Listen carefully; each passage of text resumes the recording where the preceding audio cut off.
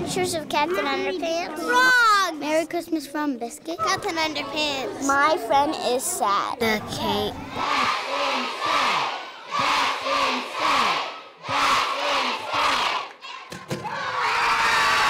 We are celebrating the excitement these kids are going to have to know that they are the number one in the state of Kentucky. They have worked so hard over the last several years to get in our Scholastic Book of World Records, and they made it this year. Your reading minutes were the 2017 best in the state of Kentucky. Woo!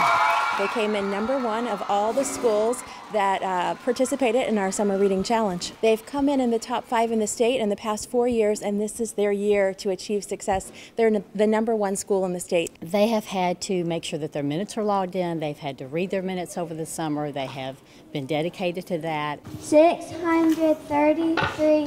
633,281. The whole idea is we're keeping kids reading over the summer. Uh, there's a thing called the reading slide, so if kids aren't reading at least four to six books over the summer, their reading ability will slide during the summer and they're going to come back to school reading at a lesser level than when they left at the end of spring.